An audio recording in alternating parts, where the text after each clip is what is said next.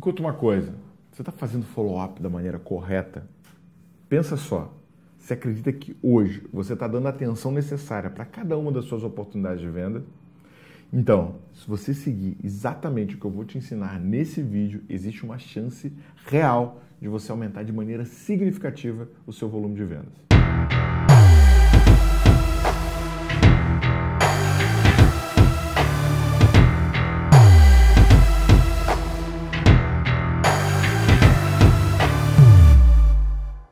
Tiago Reis aqui, vou te falar, uma das perguntas que eu mais recebo no meu Instagram é: Tiago, como é que eu faço para as minhas oportunidades não esfriarem? Tiago, estou falando com um cliente do nada ele some. Nesses dois exemplos, tem uma característica muito forte que aponta um erro de follow-up ou um negligenciamento do follow-up.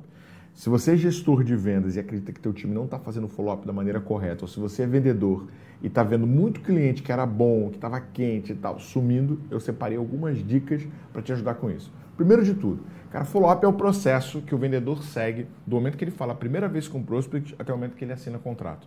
Se você vende um produto complexo, tem uma chance muito grande do teu cliente ter que falar com diferentes pessoas, ter que fazer diferentes análises, te compara com outras opções e ao longo de um período que a gente chama de ciclo de venda, que é o tempo que ele leva para tomar uma decisão, dele de ser necessário você acompanhar ele ao longo desse processo. Tá? A HubSpot ela realizou um estudo onde ela fala o seguinte: 80% das vendas são efetivadas após o quinto follow-up. Agora, qual que é o grande problema dessa estatística? É que a maior parte dos vendedores, 44%, desiste depois da primeira tentativa.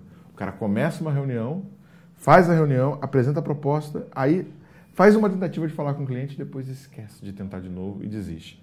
Se você está fazendo isso, você está deixando muito dinheiro na mesa. Se você não está fazendo no mínimo, no mínimo, cinco follow-ups, tem uma chance de clientes bons que poderiam estar tá virando negócio ganho, que poderiam estar tá virando receita na tua empresa, estarem sendo perdidos. Mas legal, cara. Eu separei aqui oito dicas para você mudar esse jogo definitivamente. Vamos lá. Primeiro, construa um fluxo de cadência. A gente tem um montão de conteúdo aqui no canal falando sobre fluxo de cadência, tem conteúdo lá no blog falando sobre, sobre fluxo de cadência, mas nada mais é do que você organizar o espaçamento entre as suas tentativas de contato e você criar um padrão. Quando a gente constrói um fluxo de cadência, a gente toma duas decisões. Primeiro, quais canais de comunicação eu vou usar? Então, vou acessar meu cliente por e-mail, por WhatsApp ou por telefone e quais conteúdos eu vou usar em cada um desses e-mails. Tem conteúdo que é só acompanhamento, tem conteúdo que você vai lembrar de alguma coisa, tem conteúdo que você gera valor. Para e planeja. Gestor, para com o teu time, pega o Kanban Prospect e agora a gente vai desenhar o nosso fluxo de acompanhamento de oportunidades usando o Kanban, o pedacinho lá de baixo. Cara, faz quatro, cinco e-mails. Você já viu aqui que, é, segundo a HubSpot, são cinco montou cinco, já está sensacional, já está melhor do que 90% dos departamentos comerciais. Montou o teu fluxo de cadência? Uh, a segunda coisa que você pode fazer é fechar os próximos passos. Para mim, os próximos passos você fecha ainda dentro de uma ligação. Você não espera a ligação acabar para combinar o próximo passo. Beleza, você fez uma reunião, sei lá, apresentou teu produto, apresentou a tua solução, falou com o teu próximo, conversou. E ele fala assim, cara, legal, obrigado, gostei, agora eu preciso fazer alguma coisa, preciso conversar com meu sócio, preciso ver internamente, preciso receber outro fornecedor. Legal. Alinha com ele quando vai acontecer o próximo passo. Cara, quando que eu posso te ligar? Quando que você tem uma decisão? Quando que a gente volta a se falar? Porque acontece? O cara vai falar, então, volta a falar comigo na sexta-feira. O que, que você vai fazer? Se você usa o Google Calendar, você vai lá no Google, vai mandar para ele um convite vai falar: ó, acabei de te mandar um convite para te ligar na sexta-feira às duas da tarde. Porque falar na sexta-feira você vai esquecer, você vai negligenciar. Agora, se o cara falar sexta-feira, duas da tarde, tá marcado.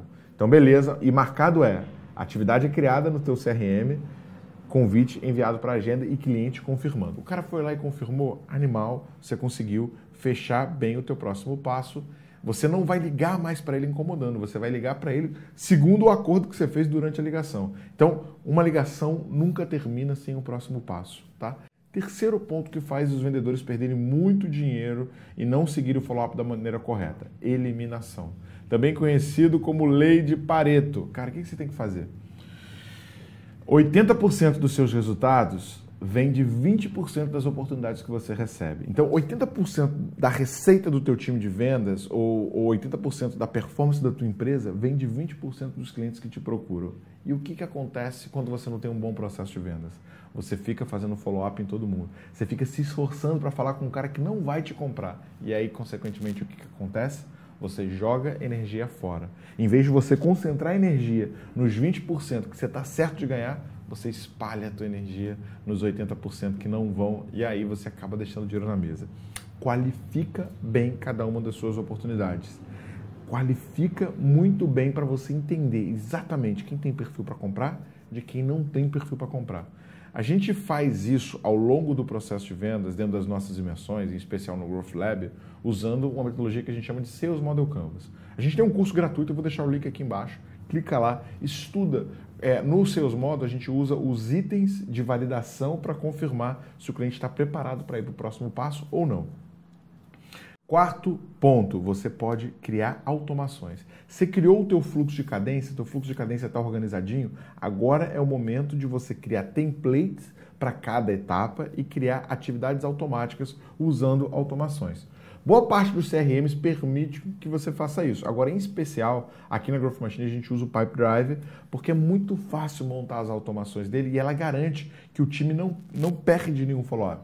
Ela garante, ela não só lembra o time de fazer, como muitas das atividades ele dispara automaticamente mensagem para o time. Inclusive, você pode disparar automaticamente mensagem para o teu vendedor, lembrando a ele que está na hora dele ligar. Tá? Então, automação é libertação. Quinto REC, use bloqueio da sua agenda que é isso, Thiago? É, não sei se você já começou a trabalhar em alguma coisa que depois de um tempo que você está trabalhando, você meio que entra no piloto automático. Você está lá tudo, tudo, tudo, e, por exemplo, copiar, copiar um item de uma planilha e jogar num software. Ctrl C, Ctrl V, Ctrl C, Ctrl V, Ctrl C, Ctrl V. Já aconteceu isso contigo? Pois é. É. Depois que você começa a fazer 5 minutos dessa atividade, você meio que começa a usar os botões e você vai no automático muito mais rápido do que quando você começou. A gente chama isso de entrar em flow. O que, que eu te aconselho a fazer? Trabalha por blocos. Então, cria um bloco só para você fazer follow-up. Às vezes pode ser uma hora, às vezes pode ser duas, mas quando você engata no teu follow-up, cara, você entra fazendo cada uma das tuas ligações, acelera pra caramba o teu trabalho e no final, cara, o que, que você faz? Você consegue gerar exatamente, é, num espaço curto de tempo, matar todos os teus follow-ups. Quando você não bloqueia a tua agenda, você meio que vai procrastinando o teu follow-up, vai procrastinando, quando você vê já passou duas semanas, você fala, ah, quer saber, eu não vou tentar falar com esse lead mais não, já passou muito tempo. Então assim, para de fazer isso. Cria slot onde você, cara, de duas da tarde às três eu só faço follow-up. Todos os dias eu faço isso. Você vai criar um hábito e você vai concentrar essa atividade dentro do mesmo horário, o que vai fazer você ficar mais produtivo. Sexto hack use assistentes virtuais. Cara, em plataformas como Upwork, como Workana, você consegue contratar um assistente virtual por 25 reais a hora. Bom, se você é um vendedor de alta performance, a chance de você fazer muito mais receita em uma hora do que 25 é muito grande. Então, o que você vai fazer? Atividades mais braçais, mais manuais que você pode terceirizar, de repente é, ligar para confirmar uma reunião ou outras atividades que fazem você perder tempo, você terceiriza com o assistente virtual e ganha mais produtividade, ganha mais tempo para fazer reunião, ganha mais tempo para fazer follow-up e você pode botar um assistente virtual até mesmo para fazer follow-up para você, tá? E isso garante que você não vai perder nenhum dos seus follow-ups. Então analisa, eu gosto muito de usar assistente virtual para ganhar mais escala. Sétimo item, tracking. O que, que você faz? Bom, parte do teu trabalho de follow-up vai ser por e-mail, né? Você vai mandar e-mail, cara, lembrei de você, como é que estão as coisas. Com o tracking de e-mail, o que, que você consegue ver? O cara que está abrindo o teu e-mail e o cara que não está. O cara que está abrindo o teu e-mail, ele tende a estar mais engajado, é um cara que você vai priorizar. O cara que não está nem abrindo o teu e-mail, eu iria ligar para ele para entender. Cara, olha só, te mandei um e-mail há dois dias, não tive resposta. Está acontecendo alguma coisa, sabe que ele nem abriu. E eu faria, tipo, uma, uma, uma empurradinha para tentar ele ir embora. Falar assim, cara, então, é, eu te mandei um e-mail há dois dias, não tive nenhum tipo de resposta, imagino que você não correria muito grande. Só me confirma se ainda está na prioridade de vocês avançar com o nosso projeto ou não, para que eu possa uh, finalizar aqui o teu atendimento. Se for prioridade para você, a gente está 100% à disposição para te ajudar, mas se não for, eu só queria que você falasse, que você fosse transparente, porque para a gente é importante ter esse teu feedback, entender se você já fechou com alguma outra empresa. O que, que você faz? Joga limpo, cara. Mostra pro cara que você está ali de peito aberto, porque assim, a maioria, a maioria dos, dos prospects, eles não contam para a gente que fechou com o concorrente, eles simplesmente somem. Então, quando você faz esse tipo de abordagem, você deixa a porta aberta para ele sair, ele te falando, cara, já fechei com o concorrente. É ruim? É, mas é pior você ficar fazendo follow-up em alguém que nem vai comprar de você, que já tomou a decisão, que já comprou de outra pessoa. O cara te contou a verdade, irmão, é ruim, mas você ganhou mais tempo, tá? E último e oitavo, saiba a hora certa de parar. Cara, você fez mais de oito follow-ups, você está mais de duas semanas sem falar com o teu prospect, irmão, meio de deal break, muito obrigado. Eu entendo que nesse momento não é prioridade para você. Quando voltar a ser prioridade, eu estou às ordens. Lembra, o seu tempo é o teu recurso mais escasso. Você não pode ficar perdendo tempo com quem não valoriza o teu tempo. Se o teu prospect está perdido, não sabe quando vai decidir e tal, e aquele cara indeciso que só suga a tua energia, manda um deal break agradecendo pela atenção e falando Seja feliz, boa sorte. Quando você precisar da minha solução, me procura.